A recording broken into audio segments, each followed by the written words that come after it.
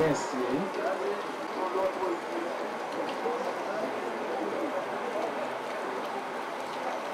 c'est chialé.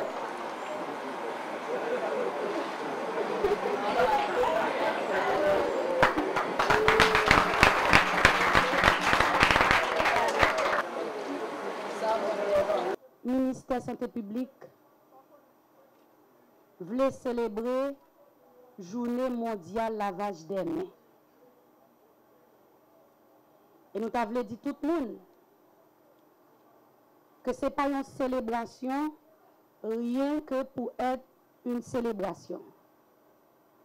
Nous voulons lancer un message clair que nous avons besoin de la contribution de tous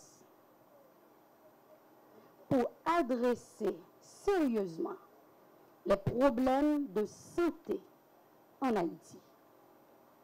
2010-2013, six ans déjà depuis que le ministère de la Santé publique et de la Population, associé à d'autres acteurs étatiques et, et des partenaires nationaux et internationaux, célèbre la journée mondiale du lavage des mains. Six ans aussi, depuis que l'épidémie du choléra est venue nous rappeler combien ce geste est important et peut sauver des vies. En cette journée de commémoration, en prélude à la date du 15 octobre, nous voulons attirer l'attention des enfants, des jeunes, et de toutes les couches de la population haïtienne sur la nécessité de maintenir et de renforcer ce geste pourtant simple, mais qui n'est pas encore ancré dans nos habitudes de vie quotidienne. Également, le ministère de la Santé publique veut rappeler à toutes et à tous que les maladies diarrhéiques comme la typhoïde, les infections respiratoires, la pneumonie, font partie des principales causes qui tuent nos enfants qui n'ont pas encore 5 ans de vie. Sur chaque 1000 enfants de ce groupe d'âge, 88 n'atteignent pas leur cinquième anniversaire. Donc, en Haïti, la problématique de l'hygiène des mains est un déterminant important de l'état de santé et reste un défi majeur dans toutes les familles, particulièrement dans les couches les plus défavorisées.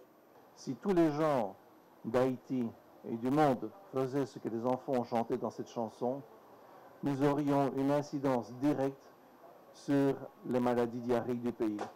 Le nombre de cas de choléra serait moins important, le nombre de personnes qui meurent de ces maladies diarrhéiques serait nettement moins important. Non seulement ils se laveraient les mains, éviterait donc que la bactérie, que le germe ne rentre dans le corps de la personne. S'il n'y a pas de présence de la bactérie dans les personnes, il n'y a pas de maladie qui existe. Donc ces maladies sont prévenibles, sont, pardon, on peut les prévenir. C'est vraiment quelque chose donc redoutablement simple. Pourquoi ne le fait-on pas? Parce qu'en fait, nous ne profitons pas de la structure que nous avons dans les pays. Ici, le ministère de la Santé, avec les autres ministères, ont décidé de changer cela. Ce programme, avec le ministère de l'Éducation particulièrement, les autres associations, les mamans, les enfants du pays, vont nous permettre de vraiment faire un changement. Lavons-nous les mains, nous allons changer le nombre de maladies en Haïti, nous allons permettre un progrès économique au pays bien plus important. Moins d'enfants malades, c'est moins de mamans qui ne peuvent pas s'occuper de leur travail. Moins d'enfants malades, c'est moins de papas qui ne peuvent pas aller au travail. Des enfants malades sont une source de problèmes économiques.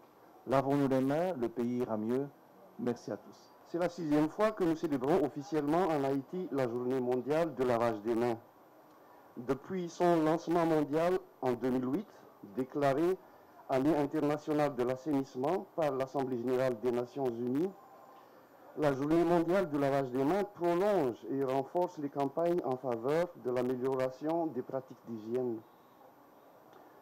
Pour l'UNICEF, il ne s'agit pas d'une simple célébration de plus, mais d'un moment très fort qui nous permet de réaffirmer notre soutien aux efforts du gouvernement haïtien au moment où, plus que jamais, il faut promouvoir cette pratique de lavage des mains dans le pays. Permettez-moi donc de saluer tous les acteurs de cette campagne et je mesure l'ampleur du travail et des efforts qui ont été investis dans l'organisation de la célébration de cette journée. Merci notamment au département sanitaire du ministère de la Santé publique et de la Population, aux structures décentralisées de la DINEPA, aux organisations locales et aux partenaires de l'UNICEF. Mesdames et messieurs, tout comme euh, euh, les officiels qui m'ont précédé l'ont signalé, les études menées à travers le monde nous, rappellent qu'une raison majeure au faible taux de lavage des mains avec du savon, c'est que ce n'est tout simplement pas une habitude.